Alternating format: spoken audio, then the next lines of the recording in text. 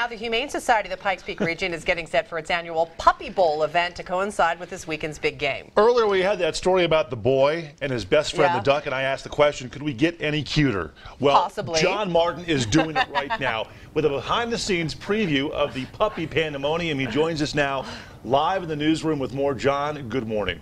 Good morning, Craig. Good morning, Kimberly. Yes, we all know Peyton and the Broncos are getting set for their showdown with Cam and the Panthers in Santa Clara. But the athletes taking the field at the Humane Society this weekend, way cuter. And we all know that's much more important. Take a look at this behind the scenes look at this year's Puppy Bowl. 10 players, part dachshund, part fluff, 100% adorable. All wild up and itching for action. And then it's really just mayhem. It's it's team member against team member. It's team member against opposite team member. It's it's kind of a free for all of puppy fun. There are some rules to keep it from an all-out Fido fiasco. We do flag for roughhousing, just like in the real game. We also flag for any player who needs to do their business on the field, as you've seen. That duty goes to referee and ground crew member Andy. They were a hot mess. Um, they're, they came straight from their foster home, which is located in Black Forest. So we kind of anticipated that there was going to be some uh, trouble on the field right away.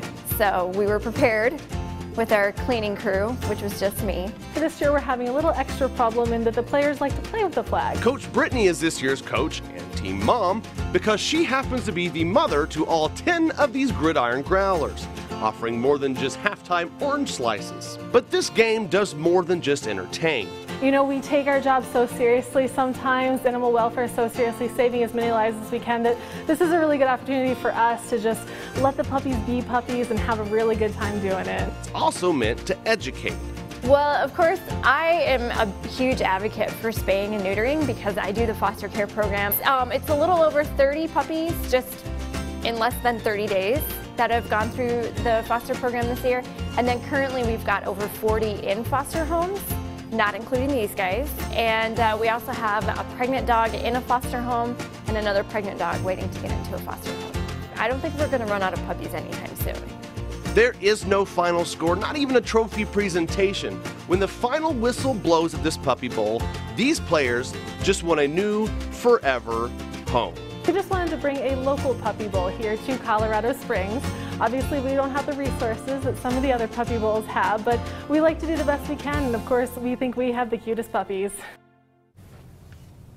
You're darn tootin', that's right. Now, all the proceeds for this year's Puppy Bowl will go to benefit Nikita, a special dog in need of financial assistance for surgery.